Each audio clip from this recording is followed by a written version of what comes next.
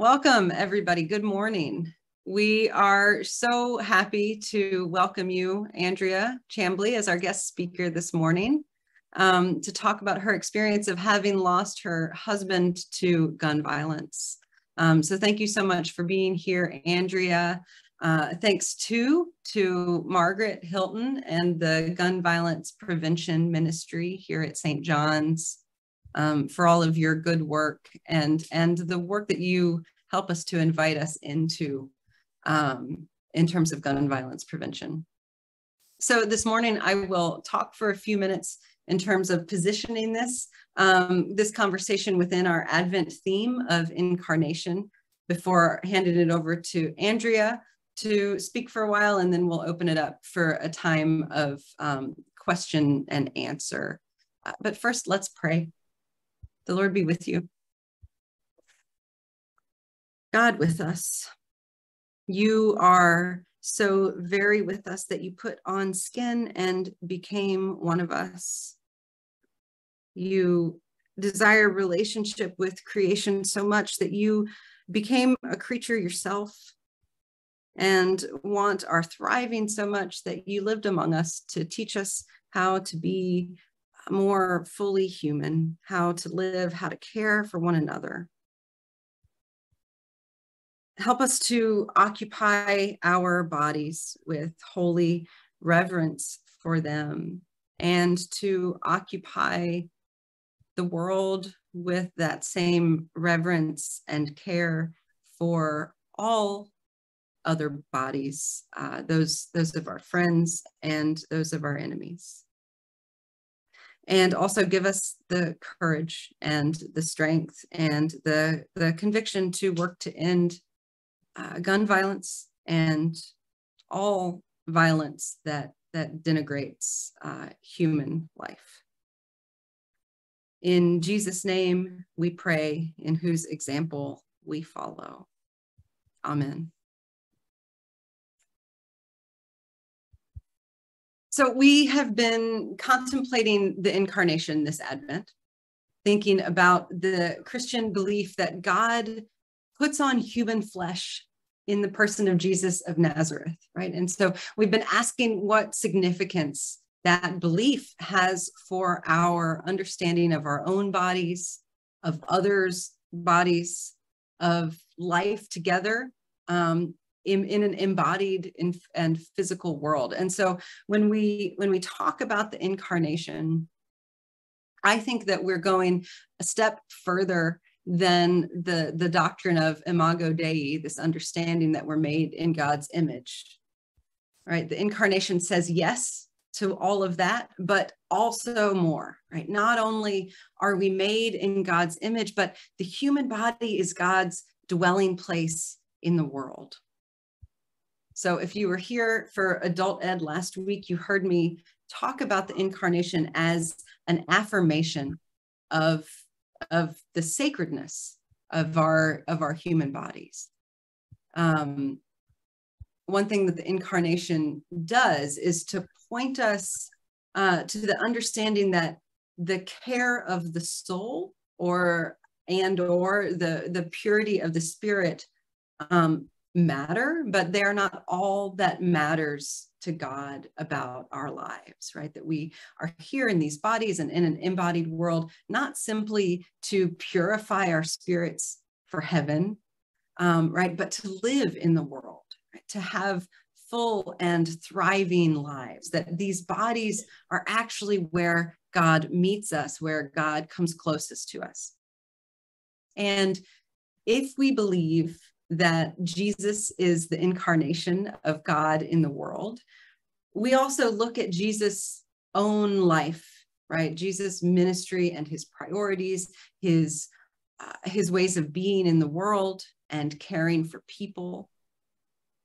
So the cliched question, what would Jesus do, is the vital one, really, because if, if Jesus shows us how God is in the world, then as Christians, we look to his example to see how we should be, right? And we see Jesus over and over and over again, really caring about bodies, right? And about people's full human experience. We see Jesus feeding the hungry and restoring sight to the blind, um, comforting the imprisoned and healing the sick, and on and on and on.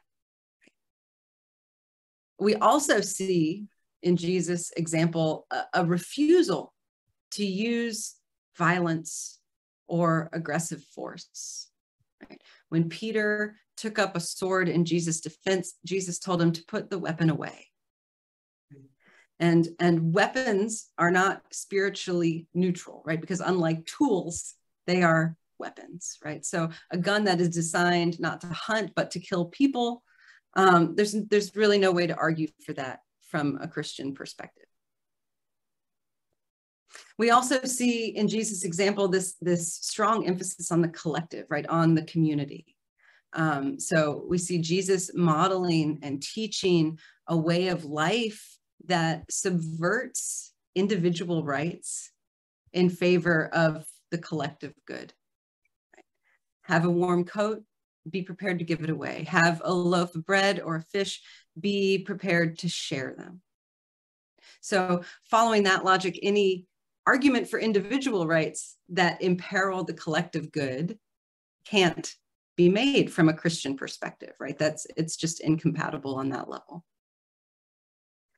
So from my view, the doctrine of the incarnation gives us a Christian ethic to guide our lives, right? To guide our behavior as we try to live as disciples. Because being a Christian isn't just about what we believe, it's also fundamentally about what we do with that belief, right? It's about how we behave based on what we believe. So if we take uh, if we take the incarnation of God in the person of Jesus seriously, right, we also should take the goodness, the worthiness, the sanctity of all human bodies just as seriously. And if we do that, if we do take those things seriously, uh, and we do that because of who and how we understand God to be, because of where we understand God to dwell in the world and to meet us, then working for gun violence prevention is not simply a worldly concern, right? It is not a matter of politics, it's a matter of faith. Um, if we affirm the incarnation as true, then we have to also recognize every human body as a place where God lives, right? A place where God meets us, and and therefore to work to put a stop to gun violence, to preserve human life in any ways that are available to us in our own spheres of influence. So, as people of faith, our theology should be the foundation of our ethics, the foundation of our politics, right? To be people of faith alive in the world is to look around and to ask, how can I live out what I understand God's will and God's way and God's priorities? Um, how can I live those things out in my life and in the world around me? Right? Not to force our faith on people who don't share it, but to live from it, right? To live from it and to let it shape the way we move through the world, let it shape the actions we take, the causes we support. Um, and so, in, in that sense, gun violence prevention has everything to do with incarnation um, because we believe that the incarnation, our faith in the incarnation, also has to do with how we inhabit the world. Um, and so, with that, I will I will turn it over to Andrea. Um, Andrea, welcome, thank you, and you can take it from here. Thank you for that introduction and that that remarkable explanation of of how this all fits together. Um, when I grew up learning about God, I learned about a pretty one-dimensional character. He was he was a creator, um, and and an all-powerful being. Um, he didn't have many layers.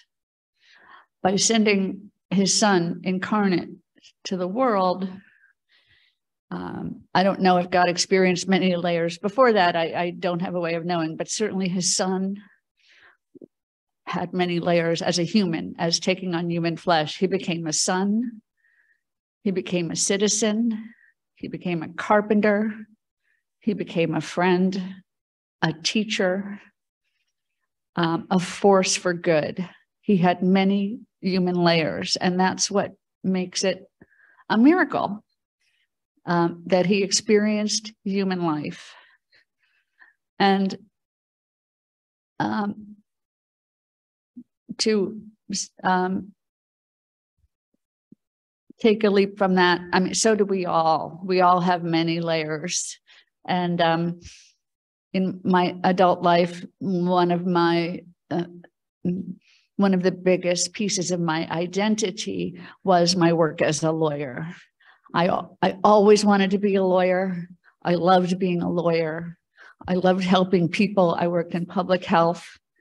Um, I, I worked to get drugs to patients who needed them and to, and to create cases against profiteers who would cut corners on their therapy and sell them something that didn't work or didn't have the ingredients or something. That was my main identity. Uh, but I had other facets too. I like to think of myself as a snappy dresser. I was a teacher, and when I went to conventions, I never wore the navy blue or gray suits because I I wanted my students who were mostly remote to find me in a crowd. So I wore a red suit. I wore a cobalt blue suit. Um, and I still have about 200 pairs of fabulous shoes. Um, so that's part of my identity too. But like all of you, it wasn't the only part. So I'm going to put this down for a second. I hope it doesn't make a noise. It's okay. They won't hear you out there, so I can. Uh, but I'm gonna. It's Oh, okay. okay. Do you need to speak? I'll just um see. I have layers.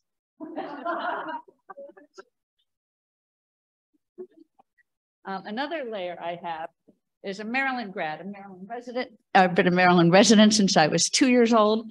I'm a Maryland grad. I met my husband at Maryland. I didn't miss a home football game or basketball game. I am a Maryland Terrapin through and through, and so is my husband. He covered Maryland. Um, we didn't see each other much on evenings and weekends because that's when sports happens. So uh, we built a wonderful, enviable marriage um, by sharing our love for Maryland. And that was a big part of my identity. Um, but then I, I was also, uh, I exercised five or six times a week. Um, I like to think of myself as a person who does yoga. I didn't actually like doing yoga, but I liked being a person who yogaed. So that was part of my identity too. Um, well, one day about five years ago in June, I had just finished my yoga class and it was a beautiful day. Um, a lot of people had started the work from home thing then. So um, I took my laptop and I went outside to a picnic table to get a light lunch and uh, get some work done. And I started getting emails and texts from people who said, Doesn't your husband work in Annapolis? Where does your husband work in Annapolis? I still think he works for the Capital in Annapolis. So, about the, I thought it was just people who forgot, but then the third one, that was odd. So I Googled Annapolis Capital and I saw that there was a shooting at the Annapolis Capital. And that morning, um, the day before were the primaries in Maryland on June 27th. And John had been up till about three o'clock getting the late results in and writing his story. Uh, it was all hands on deck. So the sports writers were writing about the primary election. And one of the women he interviewed almost lost um, because she decided to become a gun violence champion. And she squeaked by and he interviewed her. Um, so when he went into work that morning, I said, Can't you work from home? You had about three hours of sleep. And he had said, No, they need me. They made a mistake. on the schedule and they gave too many people vacation today for the upcoming 4th of July weekend. So he had gone in. And I knew if I had put my foot down and I said, You're not driving to Annapolis, you're too tired, I'm going to call your boss and tell him your wife won't let you go to work that day. But I knew his character, I knew his work ethic, and I knew he wouldn't let his coworkers down, and he went in that day. So I knew he was there. And I ran back into the gym that had a huge TV um, where you checked in. And they had the channel up of the reporters who survived walking out with their hands above their head and the police making sure none of them were the gunmen. Uh, I don't think they had found the gunman yet. He was pretending to be dead, lying on the floor under a desk. And I looked and looked, and okay, there was a guy with a blue shirt on it. And I'm pretty sure John had a blue shirt on that day. So that must be him. And I called his phone, and there was no answer. And I remember hearing from the police and first responders about mass shootings, about how they walk into a place where the story just broke and everyone's phone is ringing and no one's alive to pick it up. So I decided I wouldn't call him again. And I was able not to call him again for a few minutes, and then I called him again. And the longer I waited, the more I knew there was no news is not good news. But I thought maybe he ran out. Maybe he left his phone on his desk. He's not like me. He doesn't have it in his pocket all the time. But I didn't hear any news. So I called my brother who worked the next town over and he drove me home. And I waited at home until about five o'clock from about three hours. And I started calling hospitals. I started getting calls from all the major news networks that wanted to know what I thought. And and I remember saying, thought about what? What am I supposed to think about? And they went, oh, um, I don't know, never mind, and hung up. All 13 of them that are still in my voicemail today. um, so um, I went to my mom's, not too far away, and we waited there. Um, and my brother stayed with me, and his wife came over and their oldest daughter was a, a camp counselor. And it was the first night out for the camp counselors for their first all nighter. So she was in the park that wasn't, you know, a, a walking distance away. So about 10 o'clock at night, the first responder showed up at my door and I, I had a ring doorbell. And they told me they would have to call me that they wouldn't tell me the news through the door through the doorbell. Well that's really bad news so i learned on the phone that he did not make it it was 10 o'clock at night eight hours after the shooting and um and i i just went home no my sister took me to her home and i just cried and i said am i crying for him or am I crying for me? And my sister said, You know, it doesn't matter.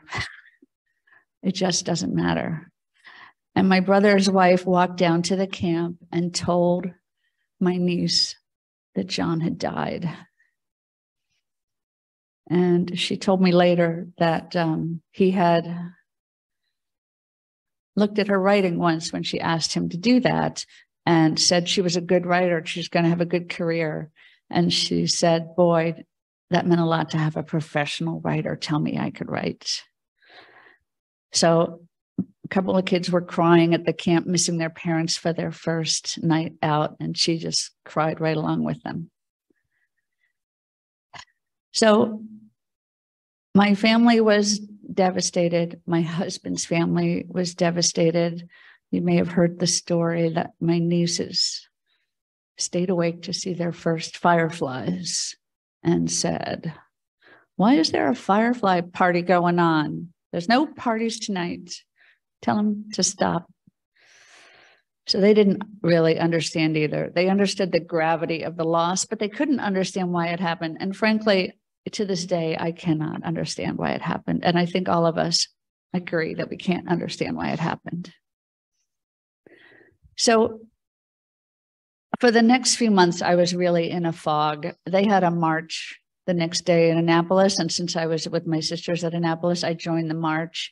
And the newspapers picked it up and put a picture there that um, we'll show on screen. Um, so that's me. Um, and I hate that picture. It just reminds me of how I felt so full of anguish. And I can't stop looking at that and, until I until I start looking around in this picture. There's my sister um, on my left singing. She sang a um, a spiritual song, and uh, it was beautiful. And that's what captured the attention of the photographer. And my cousin is on the other side looking down on my right. And she was affected too. She was devastated also. And, and then I look at all the people at this march who want to do something.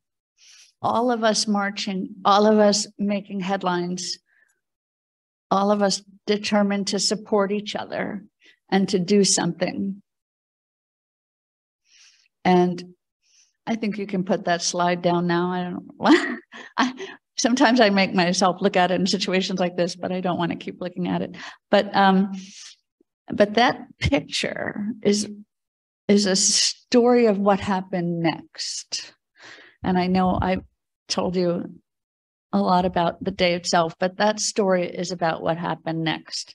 So um, a Maryland graduate is no longer my main identity anymore.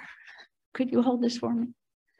Um, see, I, I brought all, all these layers with me.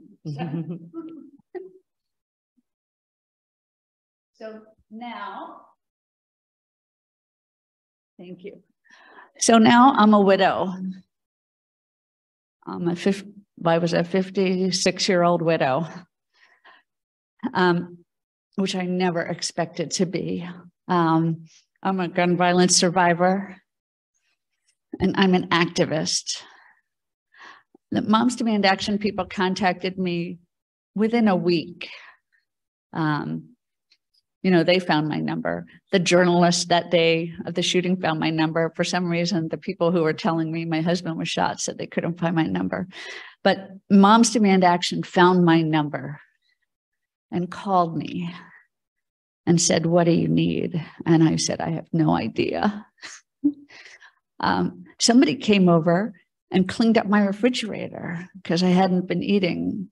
And all, I mean, we don't even clean out our own refrigerators, right? Someone came over and cleaned up my refrigerator because even though I, I made myself eat the fruits and vegetables in the house without John's help, it was just going bad. So somebody cleaned out my refrigerator. Um, and uh, people just showed up to help me, but I couldn't tell Moms Demand Action what I needed. I didn't know. But um, so they said, you know, let us know. So I thought about it probably for another month or even two. I, the time doesn't go by the same way as it does for other people in a situation like this. Um, but I called them up and I said, I want to do something. And they said, oh, It's a little early. We didn't ask you to volunteer. And I said, No, no, no. This sucks. It sucks. And it's never going to happen to anybody again. If I have anything to say about it, even though I'm just one person, it sucks. We need everybody on board for this fight against armed, an armed enemy, really. Um, and all we have to bring is peace and love and dedication and caring for each other. And uh, maybe that's not so bad. So, um, so I, I went to the next lobby day in July in January. Moms Demand Action has a lobby day. It started out with like 20 people 10 years ago. Uh, the latest one was about 400 people, I think 300, 400 people.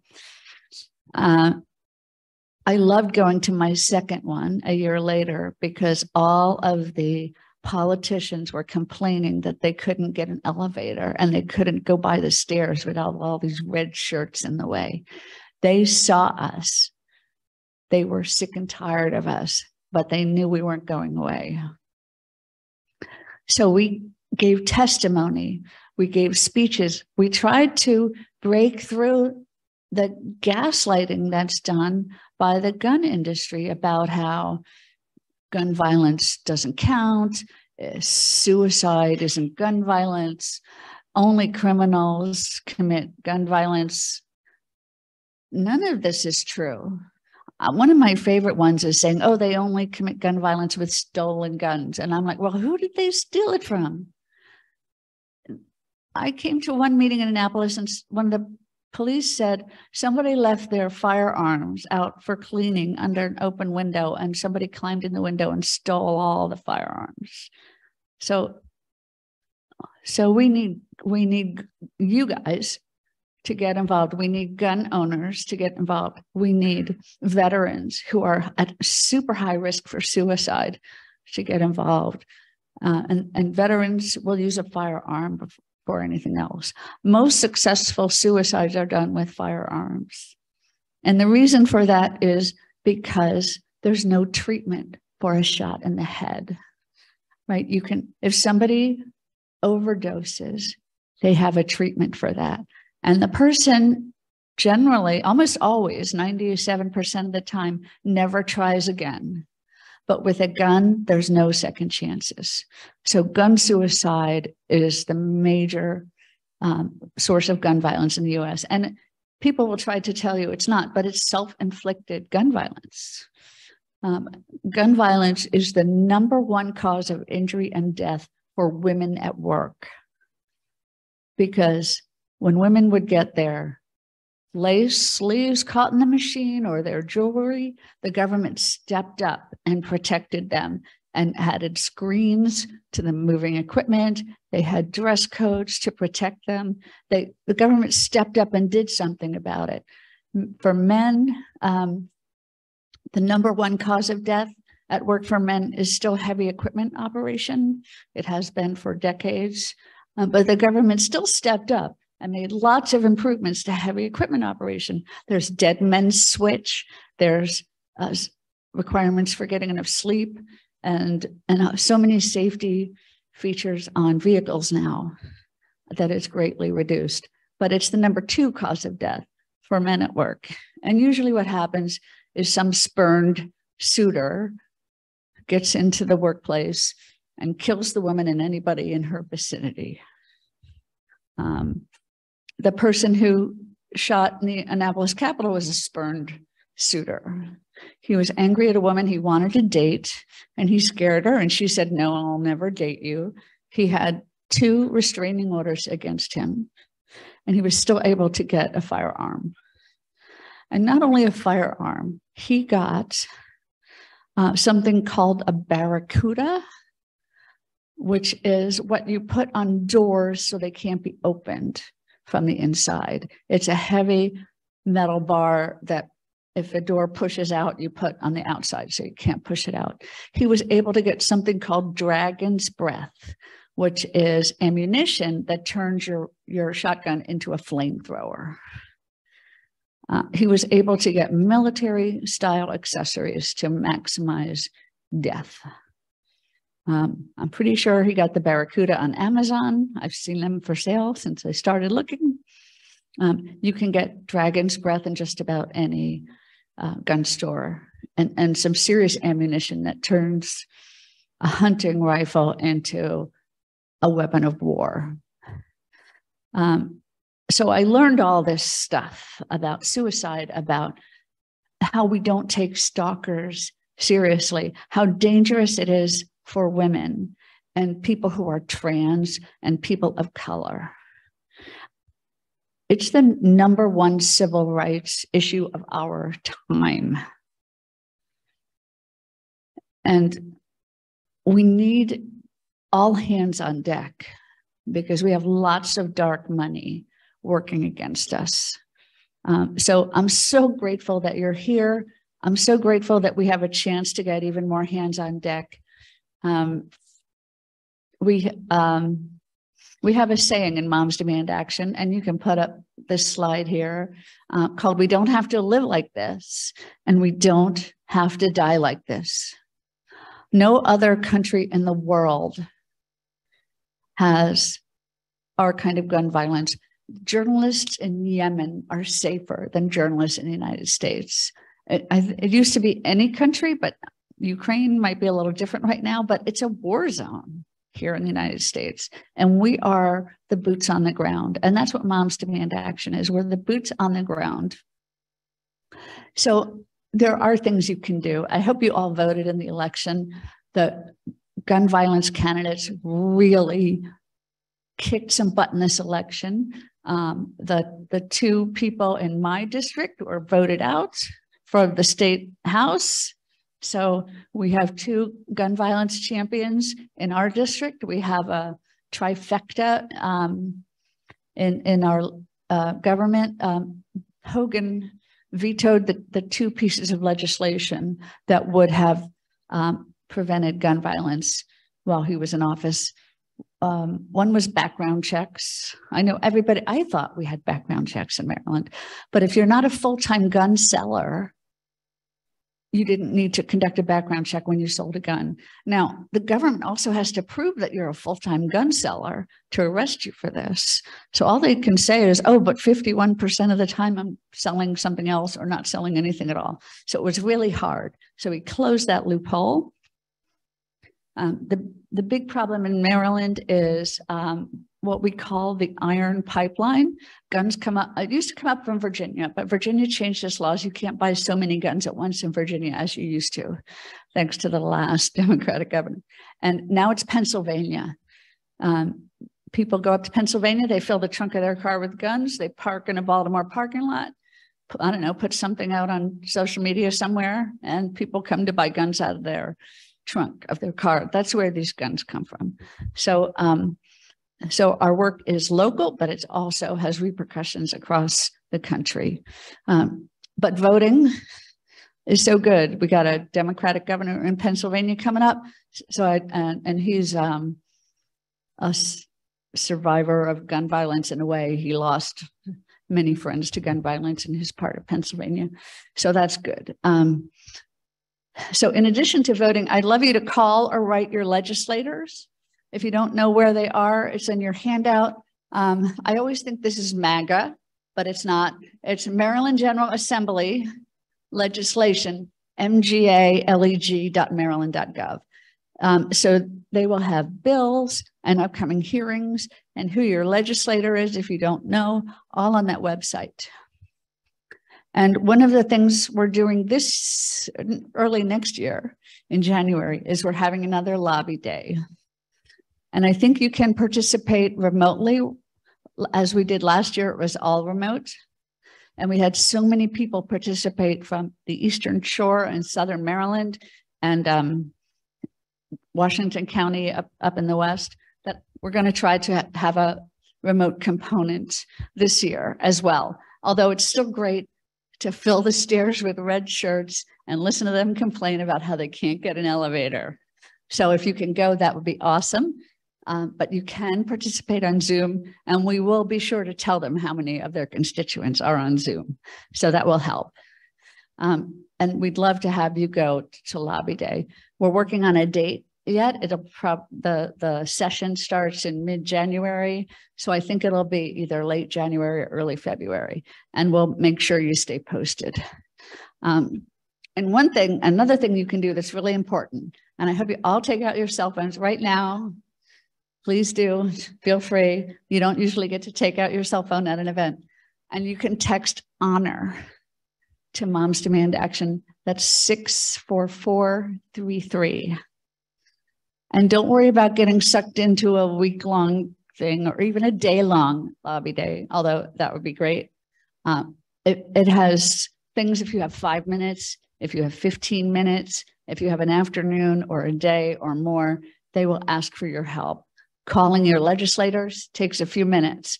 You call the main number, you tell them what district you live in, they transfer you, and you can say, I don't want to live like this anymore.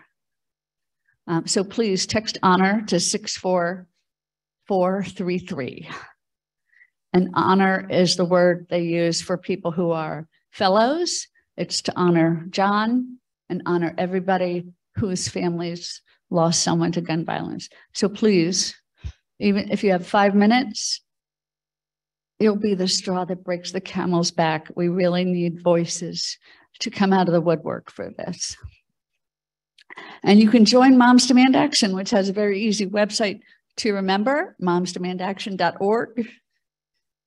And Everytown for Gun Safety is kind of like a parent organization to Moms Demand. They have um, headquarters. Uh, they have um, fellows like me. They have lobbyists and scholarships and um, t-shirts and uh, so, uh, oh, and they do a lot of research. Everytown.org has this great, pretty well funded research that tells you now you can even look up by zip code what your what kind of safety profile you have or in your state or if you're traveling and you want to know or if you want to know what legislation is pending in different states or if you want to know how many mass shootings we've had this year which i think is 650 so far plus or minus 10 uh, we're going to break records this year again. Uh, so they have a really good um, research arm so that we can have data-based solutions for gun violence. So one of the gaslighting phrases is, well, that little change won't do anything. Every little change does something. Every little change does something. So they have the data to show what what each change can be expected to produce. So it's a terrific organization. So I'll tell you, Everytown was founded, um, it was originally called Newtown after the shooting in Newtown. And then as mass shootings took place everywhere else, they changed it to every town. And that was started by Mike Bloomberg as mayors against uh, illegal guns. So he and other states were fighting over the trafficking up, up and down the iron pipeline of 95.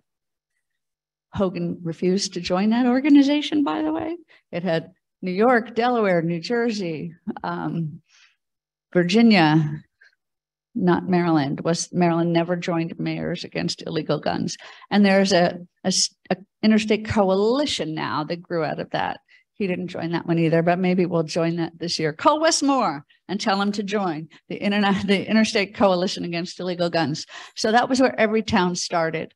Um, it started out as Newtown, and Moms Demand Action was a Facebook group started by Shannon Watts after Newtown.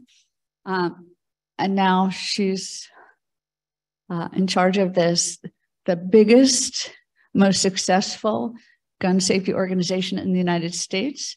She was featured in this week's style section on the front page. So um, if you haven't seen it in print, go look at it in the print edition. It's a, it's a magnificent explanation of her work.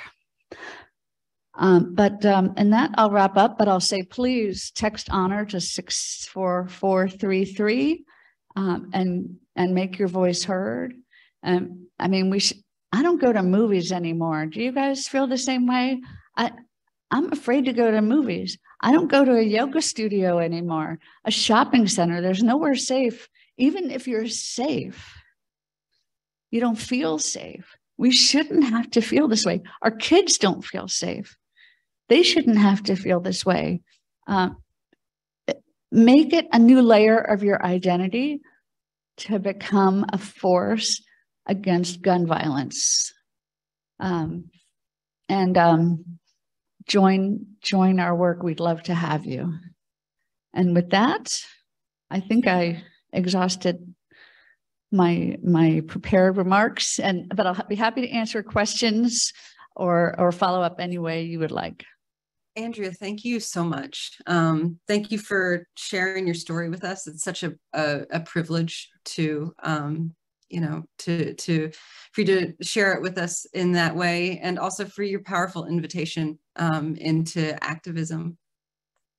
Um, questions from uh, uh, we'll just open it up for question answer discussion. Uh, if you're in the parish hall, you can walk up to the mic um, and I'll be able to see you there. Um, and we should be able to hear you online from there. And if you are on Zoom, you can use the uh, hand raise function under reactions.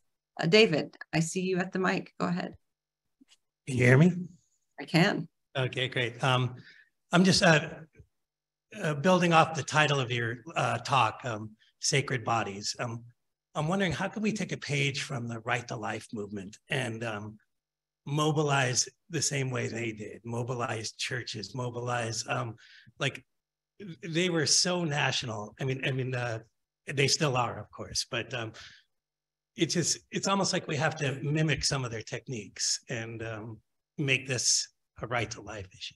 I mean, and uh, and get churches and, and everyone else behind. Well, one of the reasons is to take back control of the message, and the right to life has nothing to do with right rights or life, uh, as far as I'm concerned. And to have the media use that phrase just gets my goat. The United States is one of the most dangerous places to be pregnant in the world, especially for poor people and people of color. It's dangerous.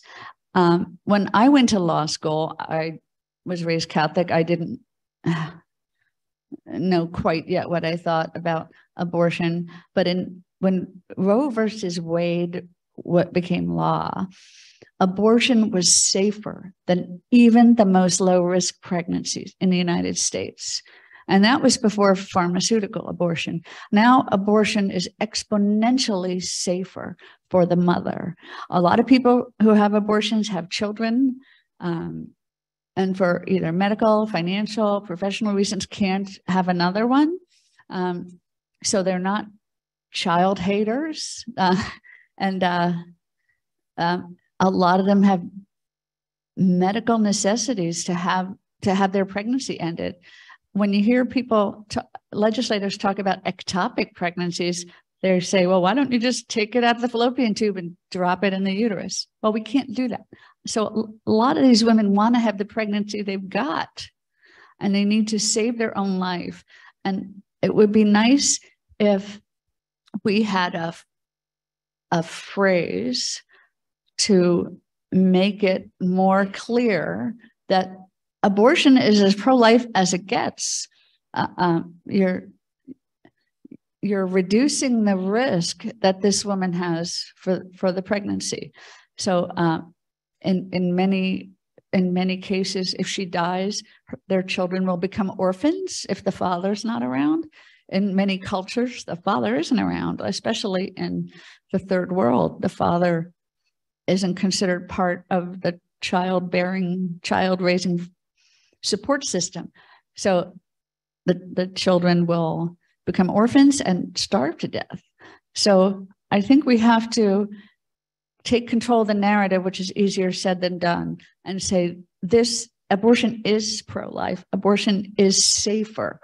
Um, and and it saves lives you'll have to help me do that every time somebody says right to life you can say actually abortion is safer so hi, I just wanted to, speak to David's point. I'm Jan McNamara and uh, Andrea is my sister-in-law.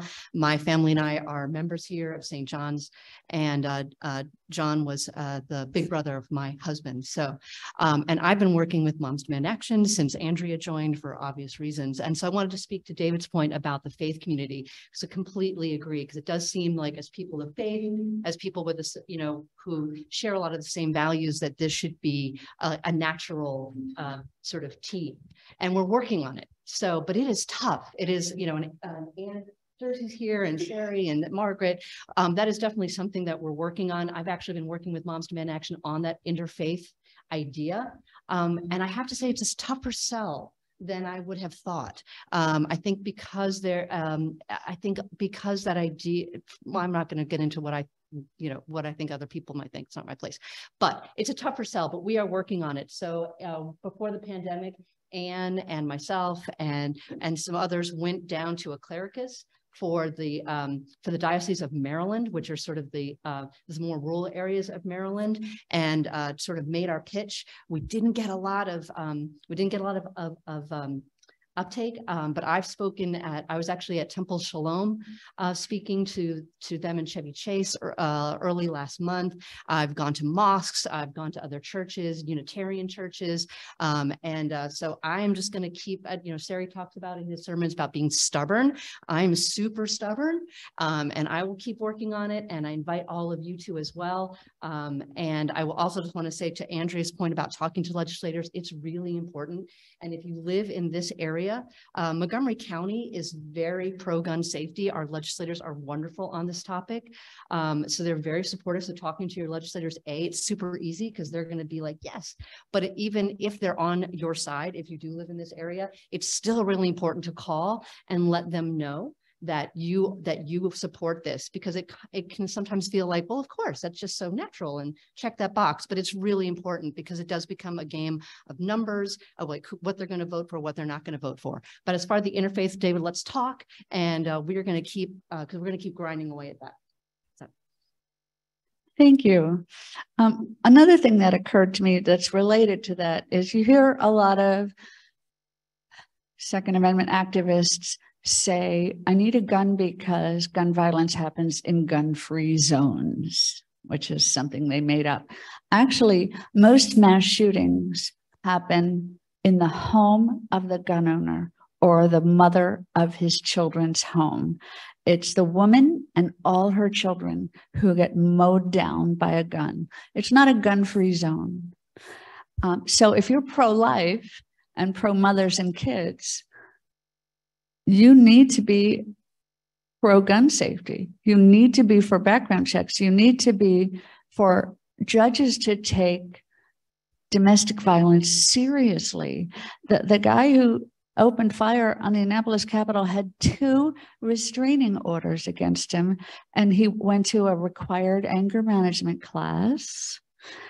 And I don't know about your experience with anger management, but most of the people I know who are cruel to their families manage their anger just fine at work. They manage it just fine around their guy friends and, and their in-laws and their parents. Where they don't manage their anger is around women who piss them off.